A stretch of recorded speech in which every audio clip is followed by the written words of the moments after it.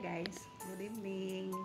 Sabado ngayon, kaya nag-prepare ako ng dinner para sa mga anak ng amo ko. Kanina, tanghali, nagluto ako ng mani. Ito siya. Yan, limang peraso. Kasi binibinta niya doon sa kanyang restaurant. So, may nag-order daw sa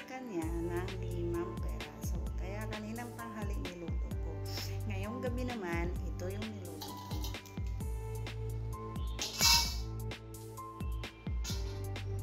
Diba, masarap.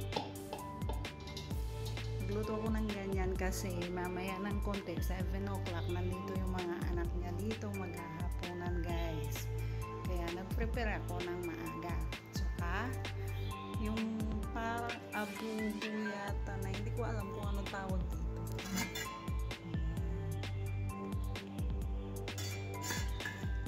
Niluto ko ngayong para hapunan nila. Kasi may tatlo silang may tatlong anak ng amo ko dalawang babae isang lalaki.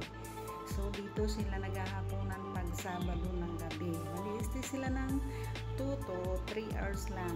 Sila nag-i-stay dito. Tapos uwi na naman. Ganun lang yung life nila. Pumupunta lang sila dito bumibisita pag Sabado. Dinadalaw lang nila yung nanay at tatay nila at kasama na din ako doon kasi pagdating nila welcome din Jairo say ganito ganyan. So okay na naka-appreciate din kasi ang galing naman nila. Hindi nila ako kinakalimutan kahit sa anong parang pag pumupunta sila dito. Kaya nakapag-ipon ako ng ipapa-box ko next month. Kasi sa